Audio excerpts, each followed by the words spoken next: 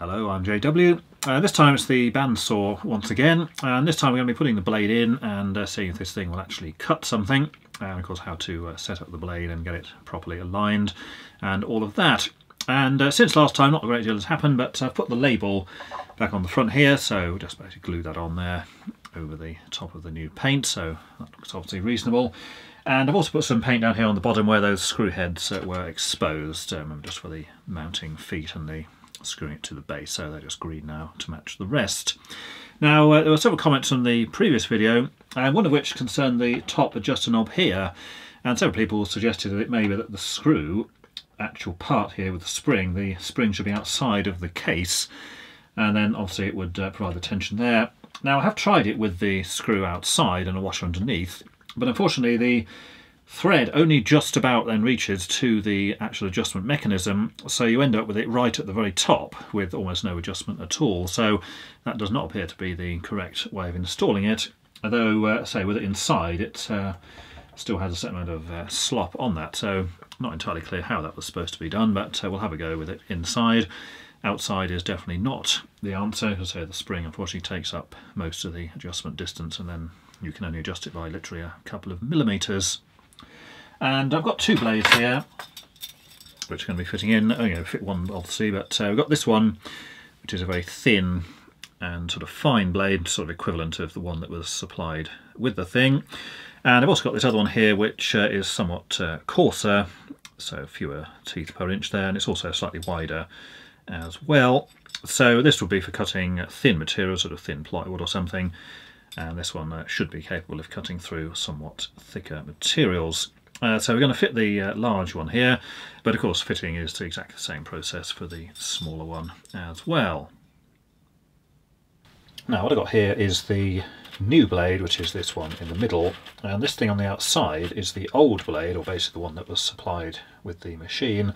And as I said in the previous video, I'm convinced that someone has just bought the wrong size, because the new one in here is uh, 56 and a half inches, and then this one, which is the one that was with it, measures 57 inches.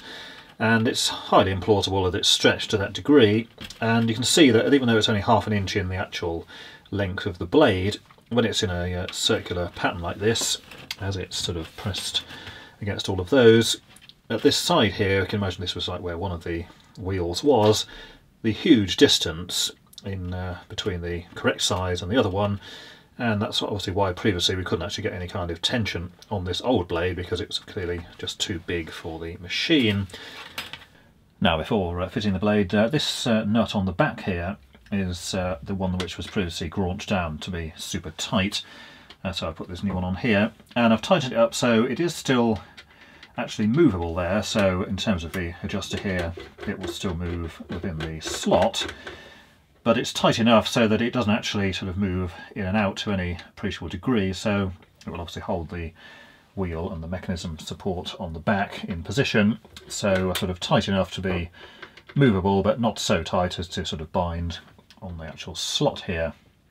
Now before fitting the blade of course the uh, first thing to do is make sure that it is unplugged because uh, although this is a small machine it's still quite capable of causing fairly severe injury if it was to be turned on while the thing was being dismantled or looked inside. So unplug the uh, power lead there and then we'll just remove the cover these three uh, screws in the corners. I think we'll do on the other two.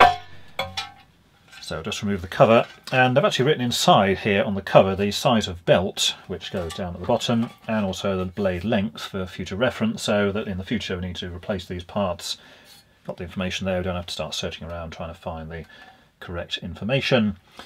And I haven't painted the inside, somebody did suggest uh, painting the inside, but originally it wasn't painted either, it's just the bare aluminium. This is just a bit of overspray from painting the other sides. And of course to paint the inside now would involve dismantling the whole machine again just to put some paint there. The paint's purely a cosmetic thing anyway, it doesn't have any function because of course aluminium doesn't generally corrode. So though you could paint the inside, there's not really a huge amount of point and we're not going to be doing it in this instance.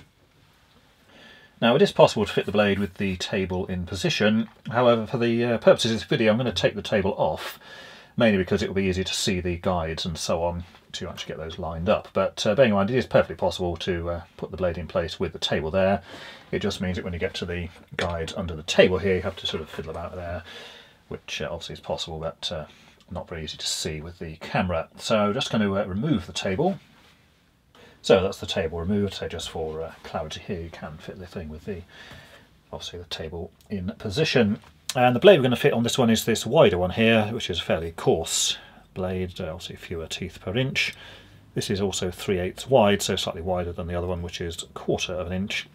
And it's important to get the blade in the correct direction. And this, uh, see here, the teeth like that are basically pointing in a downward direction, which is what you want, because as it turns, it will move downwards through the table. And basically, we'll just pull the, the tool down onto that and cut as it goes. And the teeth need to face towards you on this side so that when you're actually feeding the material through this way, you're actually feeding against the teeth and of course not the uh, back of the blade there. And I've put the guides here and here as far apart as possible so essentially we can just get the blade between those without these getting in the way. And we want to adjust the knob on the top here so that the wheel is at the lowest position so we can get the blade over the top. So just turn that so it's sort of pretty much right at the bottom of there. And then it's a question of taking the blade and just slotting it around the various wheels. Now once the blade is actually over the wheel we can tighten this knob here to a moderate extent to uh, provide a bit of tension here so not a huge amount at this stage but enough so that it's uh, actually got a bit of resilience in that. And what we need to do now is to arrange the top wheel here, which has that tilt mechanism on it, so that the blade actually runs across in the centre of the wheel. If it's too far one way or the other, it'll actually come towards one edge and then eventually fall off, or obviously conversely go off the back if it's tilting in the other direction. And uh, to check this, we can actually rotate it using the bottom wheel here, and then we can see which direction it's going and adjust the knob on the back to get the tilt correct, and then we should be able to rotate this uh, many turns with the blade remaining in the correct position. This is the top wheel, which is the one that has the tilt adjustment, and I've just uh, got it in sort of the rough position.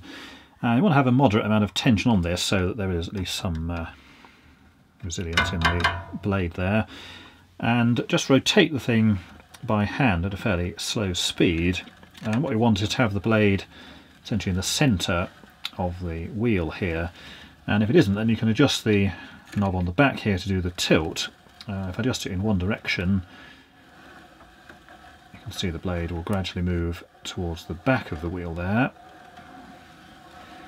And if I tilt it in the other direction, you see the blade will then come over towards the front. Now the adjustment is fairly sensitive on this, so it's only a sort of eighth of a turn or so just to get it moving in one direction or the other. So it's just a question of turning it slowly and then just small adjustments on the knob at the back to get it as near to the centre of the wheel as possible. So that looks uh, fairly reasonable and then we can tighten up the wheel say a little more so we get a more sensible amount of tension on there. And see now it's staying pretty much in the centre of the wheel there as the blade obviously goes round through several revolutions. Now initially this is quite a faff to get uh, in position because say it's uh, the tilt range is actually huge but the adjustment need to get it sort of between in the correct place and falling off is uh, actually quite small. So huge amount of adjustment but there's sort of that uh, sweet spot in the middle somewhere which uh, obviously allows it to actually stay on the wheel. But uh, once you've got it to stay on the wheel, it's then just a very small adjustment to keep it properly centred within the actual top surface of the wheel. This is pretty much the widest blade this can have, the 3 8 so it's pretty much the full width of the top of the wheel there. And of course the uh, smaller quarter inch one would uh, be slightly narrow in the top there, so it would sit again near the middle and have more white space on either side. Now in terms of how much tension to put on, I mean some obviously, but not uh, too much. I mean this is not too bad. Um, see there's a reasonable uh, bit of tension in there, and so same here, obviously the same here as well. And uh, this doesn't have any kind of gauge as to how much tension to apply, but uh, as long as it's something like that, that will do. I mean if not we can always just uh, make a small adjustment here with the tensioning knob but uh, as long as it stays on the wheels and isn't uh, likely to slip then that's pretty much all you can hope for with a machine of this sort of size. And anyway, it's only the uh, actual back of the rubber belt here which is providing the drive, so you do need a certain amount of tension here so that the blade is actually pulled onto the back of the rubber belt. Otherwise, of course, slipping here is going to damage the belt and obviously not move the blade through at all. So once it's uh, in position there, it does also rotate and it remains on the wheel like that. Then the next thing to do is to set up the guides here to properly support the blade. Now this is the rear guide for the blade and there's the upper and lower ones are exactly the same so both are identical. And the idea here is that the blade actually goes in this slot and it just uh, literally just slots in the middle there and then this will rotate while the blade is in there and also support the back of the blade. So as you're pushing through this will prevent the blade from being bent out of shape. And it's got this little nut here which is used to position this in uh, this direction so if the blade is here you want to position this so that the actual slot is perfectly in line with the blade what you don't want is over here because first of all the blade might not fit in it and if it was here and then sort of started to pull the blade over then of course that's going to lead to the blade being excessively stretched or damaged and maybe even broken.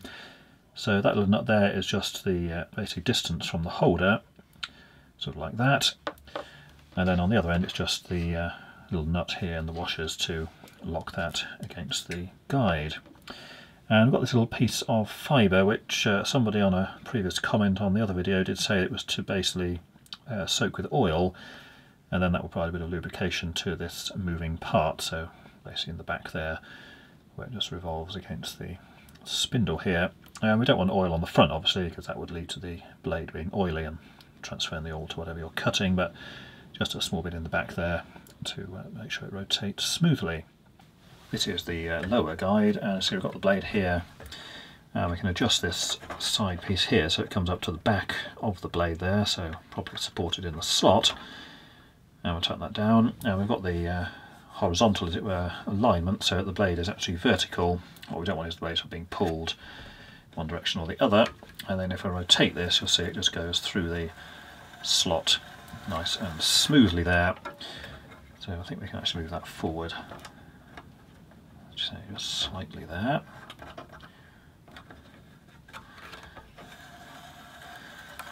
So see that just goes through the slot nice and smoothly.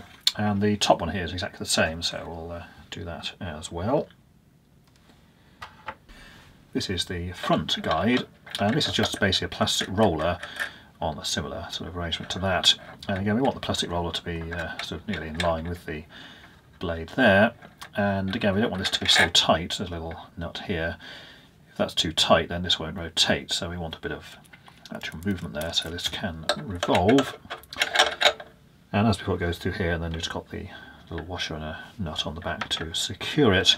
Now this needs to be positioned up to the blade but not so that it's actually touching it at all times. We want it to have a small clearance so this will spin freely. The idea being is if the blade tries to move in this direction it will hit the roller and then it basically won't come out of the slot on the rear one. So as near to as possible but not actually touching the blade. And again we'll just place the washer there and the little lock washer and then we just tighten down the nut to secure that in position. So that should spin freely. And as the thing is rotated see the blade doesn't actually drag on that but it's sort of almost touching. So if we move that forward then that would of course catch on the roller. So it's just clear of the plastic roller. And again, the upper guides, of course, are exactly the same. So here's both of the guides installed. So I've got the blade in the slot here and here, and then the rollers on the front are free to rotate without actually catching on the blade itself. This top one unfortunately has been a bit chewed by the previous owner. There's obviously rather mashed bit there, but unfortunately not much we can do about that. And as the blade is rotated, so it will go through the rear slot there, so obviously supporting the back and it's just clearing those plastic rollers on the front. So that's the way installed. I'll uh, just put the table back in position. So normally you could leave that in place, it's just a bit more visible with the uh, table removed for the video purpose.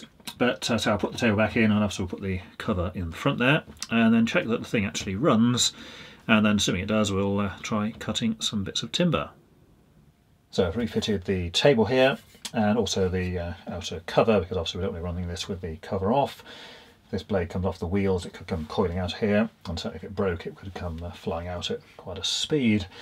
Now on the top here there's actually a hole where you can see in there and actually see the top of the wheel so it is possible to make some minor adjustments uh, with the cover on, as you can say see through there, just shine a torch in there or something. And there's a similar hole down here, so you can see this one here, and also a hole there, so you can again see the wheel on that side. So it is possible to see all three wheels and the blade on them without removing the cover. And I've actually put a couple of drops of oil on those sort of uh, pieces there for the rear guides, just to provide some lubrication for that rear support there and again underneath as well. So let's see if it uh, does actually work.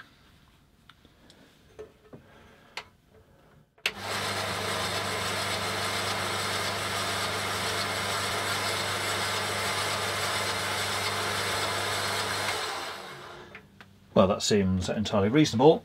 And if we just have a look in the top there, yes, the blade is still uh, aligned in the middle of the wheel as we would want. So uh, that seems reasonably successful. Now that just leaves the uh, final test of actually cutting something. And I've got this uh, block of wood here, this is just some cheap uh, pine type stuff, just using it to uh, support the motor while it was being painted, hence it's all green on that side and not on the bottom.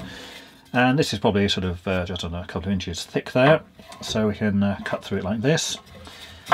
It's not quite going to fit under there in that direction, so I can't do it like that, but uh, this way will suffice no problem. And the idea with these here is to get them uh, fairly close to the top of the timber there, and the ones underneath again as close to the table as possible, so you've got the maximum amount of support for the blade in the middle. So uh, let's uh, have a go at cutting this and see uh, how that goes.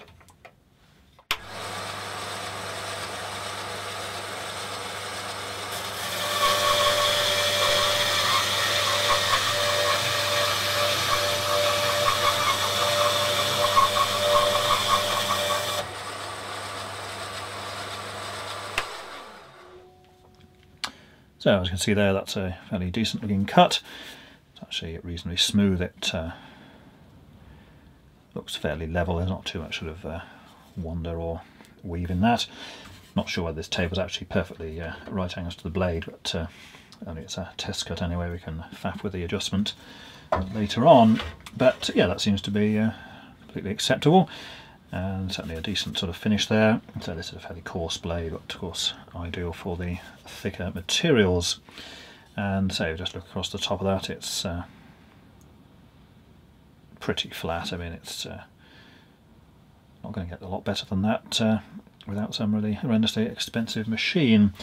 So that seems to cut reasonably well, and that cutting there was done in real time. It wasn't uh, sped up or anything, so uh, of course that was only a few seconds to get through this fairly thick material.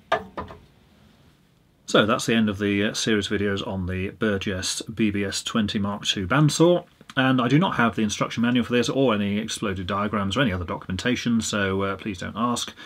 Ultimately though, uh, all the information is really in the uh, videos, this one and the preceding two videos, so it's not really much else that any instruction book or whatever could say.